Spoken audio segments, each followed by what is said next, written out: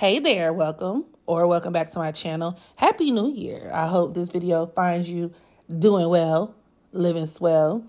I am your girl Megan, and this is the Astro Queen, where we use information from celestial bodies to help us gain a better understanding of our favorite celebrity world events, but most importantly, our damn selves. So come on in, subscribe first, okay?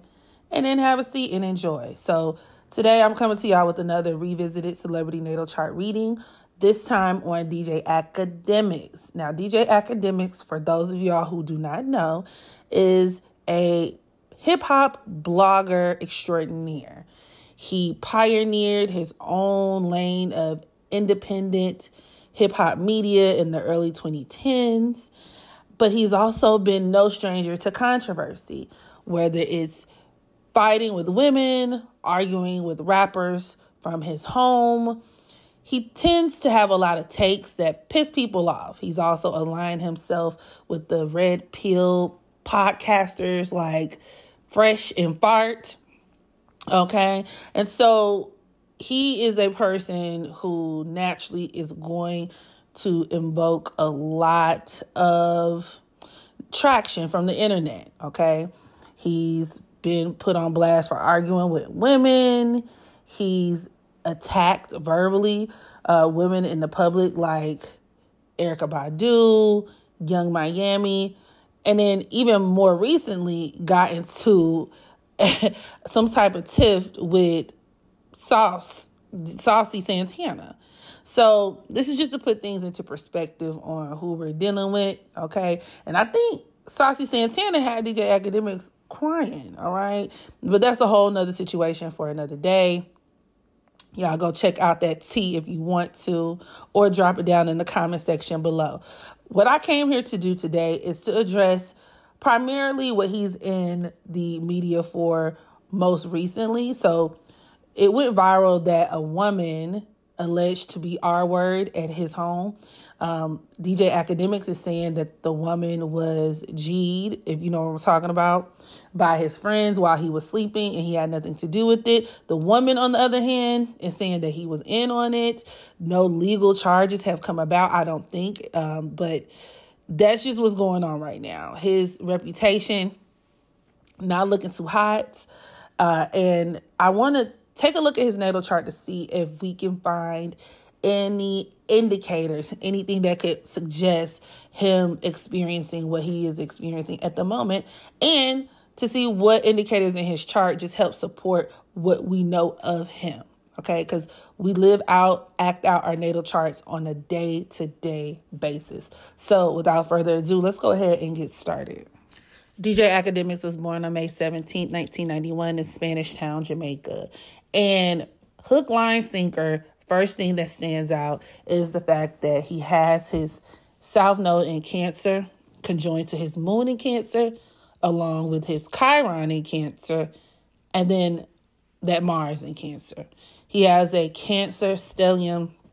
And in astrology, when we talk about the South Node and its importance, a lot of times the South Node holds clues to our past life or past lives, depending on if you believe in that thing or how you want to look at it. It also could deal with our early life programming and point to where we've formed a lot of unhealthy attachments. And so, with DJ Akademiks having such a strong stellium in conjunction to this Cancer South node, points directly to the source of the problem. The man has karmic, past life, even early life issues with women. And to be a little bit more particular with his moon conjoined to Chiron, uh, there could have been situations where growing up, he could have had a very dysfunctional relationship with women. This could describe a person who may have been hurt by women. You also have to keep in mind that Chiron does deal with trauma. All right. It's referred to as the wounded healer in astrology. This can manifest physically, it could manifest emotionally.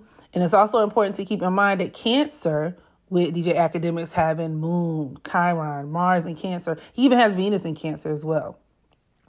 Uh, cancer rules the subconscious. So a lot of times these are issues or grievances when we talk about moon conjoined the Chiron Cancer that the chart holder may not even be aware that they have, not consciously. So things, you know, grudges from the past. Cancer also rules the past. That's because of its opposition to Capricorn, which deals with time. You know, these are people where if they have uh, experienced any kind of dysfunction or disturbances, hence that Chiron in its conjunction to the moon, they are going to keep that with them. It could be a lot harder for these people to overcome the conditioning or the programming of their youth or of things that happened during childhood or while they were growing up. There's a disturbance in the force field here. And because cancer is one of those signs that directly correlates with women, once again, it's safe to assert that these issues that academic has with women stem from him having if you want to say a wounded feminine energy himself you know not to be all spiritual or high and mighty with this you know verbiage but that's what it is. That's that's also what it can translate into.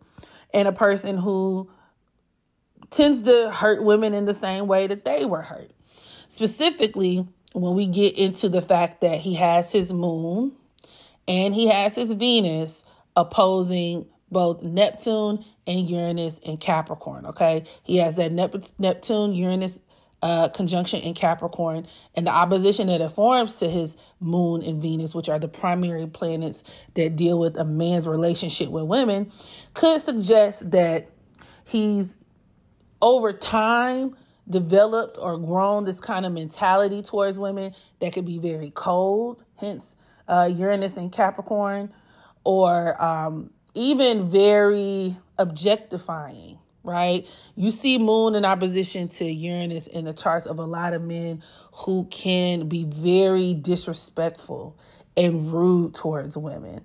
And it's important to understand that when we examine Uranus and Capricorn, Capricorn is the sign of punishment. So with this opposition between Uranus and his moon, it's almost like as he's gotten older, hence that Capricorn North Node, uh, as he's grown into success, hence that Capricorn North Node, his relationship with women, that estrangement that he has there has probably been magnified. So you can look at this as the telltale case of a man who is operating off of some sort of insecurity or whatever the case may be, he gets the success to be able to afford the type of woman that he wants, right?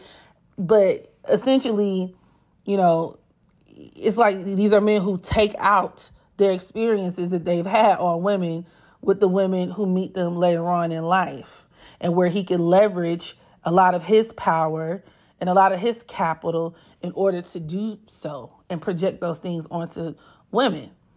And I mean, to be fair too, he may also attract women who are who not are they're not into him like that.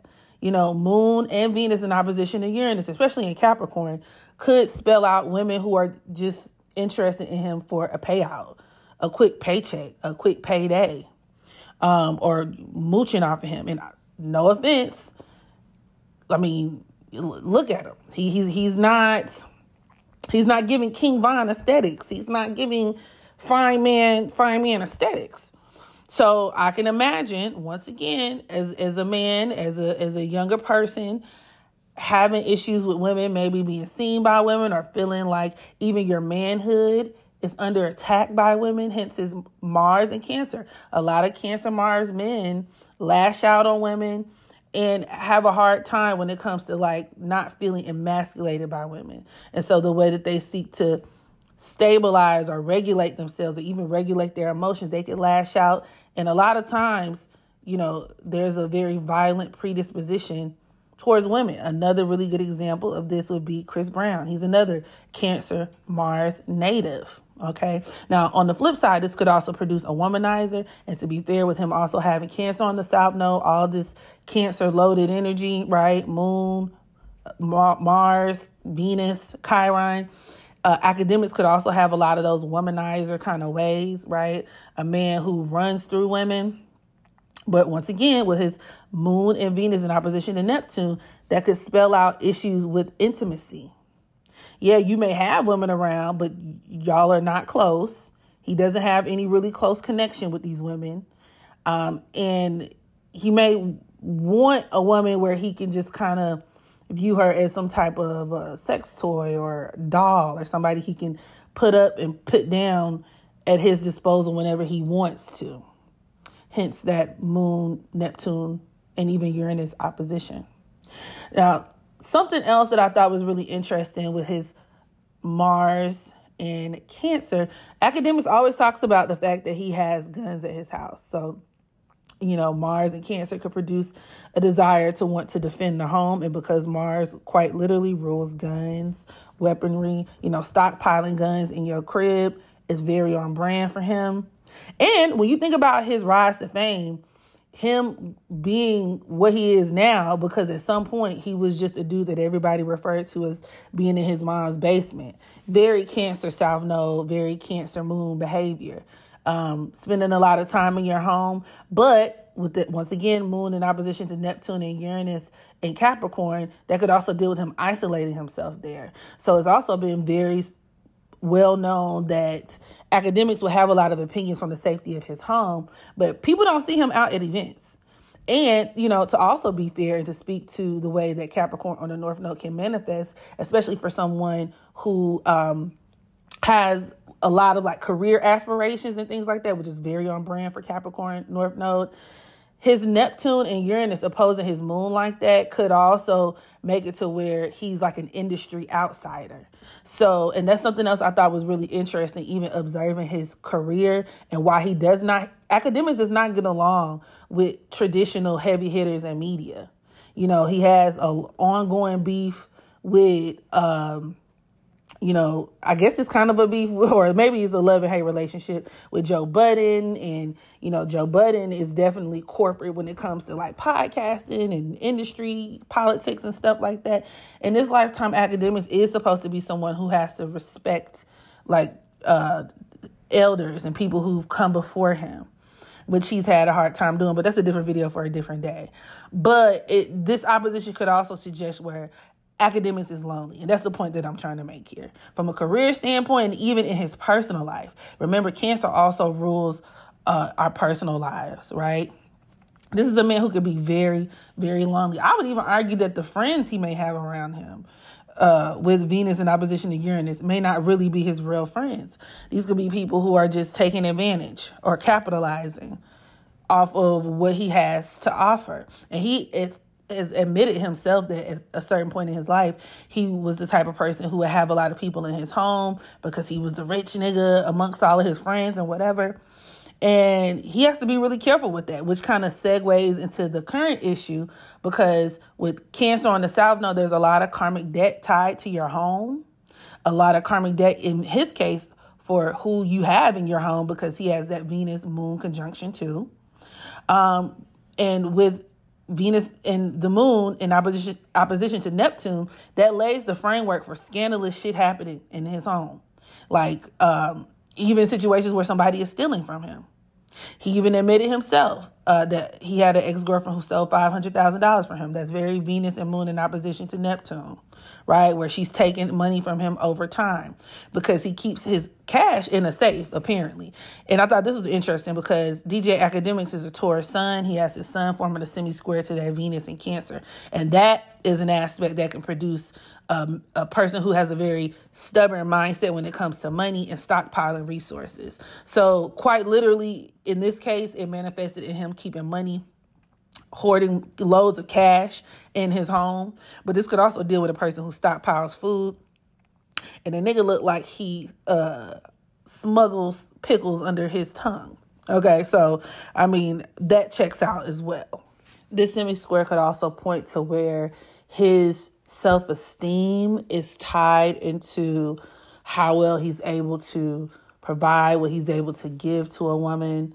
Uh, but that could also make him super closed minded or even just really conservative in the relationship he has with women and his expectations of women. So these are the men who need the wifey, I'm a cook for you, treat you like a baby type. Not to mention, as a Cancer South Node, once again, and with that Moon Chiron conjunction, even Moon can join the Venus in Cancer, either he can have a exceptionally close relationship with his mother. And on one hand, this could be all cool and fine and dandy, but this could also even produce a mama's boy or somebody who's just used to being coddled. And that's honestly a lot of that Cancer South Node residue being coddled, being uh, expected for everyone to treat you that way. Okay. When in this lifetime as a Capricorn North Node, these chart holders tend to learn in really harsh ways that nothing exceptional is going to happen when it comes to you in terms of what's expected of you in reality. Like you have to adhere to reality, you have to adhere to systems, you have to adhere to doing things the way that everyone else would. And a lot of times there's a lot of hard work involved, a lot of patience. And what works in his favor is that he does have Neptune and Uranus in conjunction to the North Node, which can give him very lucky breaks, especially as it pertains to his career. Um, Uranus in Capricorn conjoined to that North Node is absolutely responsible for him being this huge pillar on the internet and being this huge internet figure. I would even argue Neptune in there too. You know, so that's great. And that branches out into a lot of other things that work for him. But he still has to learn how to leverage his success with his personal life. Hence, the dichotomy of that good old Cancer South node versus Capricorn the North node. Now, some Capricorn South nodes um, tend to have that same struggle, personal life versus professional life, whatever the case may be. But I would argue that DJ Akademiks is hella lonely. Okay, and a lot of these incels are. But in his case, this you really just can't make this shit up, especially with his moon in opposition to Uranus and Neptune and Capricorn that could even just deal with him being like even like a, a, a simp when it comes to women, but once again, overcompensating and using a lot of different things to like project onto the women around him. And where he really could have been just somebody who could have been weird and outside of this theme of that outsider energy comes across really strong with this multiple planet opposition. And he may have been felt or made felt to be alienated, not even just when it came to women, maybe even when it came to his culture and his heritage, because he is from Jamaica. And Cancer is one of those signs that deals with home, the homeland. So when these people are uprooted, um, especially with the moon in opposition to Uranus and Neptune, they can oftentimes have a hard time adjusting. You know, where he could have felt inferior, been made to feel inferior, or like, once again, like that weird kid, the weird immigrant kid, or the weird whatever. Not to mention, he also has his Mars, once again, in conjunction to Chiron and Cancer, which could also produce issues with one's sexuality or even issues with his peen peen. Honestly, this gives small penis. I'm not just it's just what it is. Mars and Cancer conjoined the Chiron can produce a small penis or somebody who has a lot of emotional hangups or with something I'm in, in all seriousness, he could have sustained some sort of injury, some sort of trauma. If you get where I'm going with this, that could have really impacted, like I said, his sexuality or, you know, how he feels about himself and his own manhood. I mean, and it, it just is what it is. It is what it is. It is what it is. So you can slice it and dice it however you would like. Okay. Um, his moon in opposition to Neptune could also deal with him having women in his home and where he violates their boundaries. Okay. Uh, having a lot of women in his home at any given time is very much a testament to his moon Venus conjunction in Cancer and that Cancer South Node. Once again, lots of karma tied to his home and women.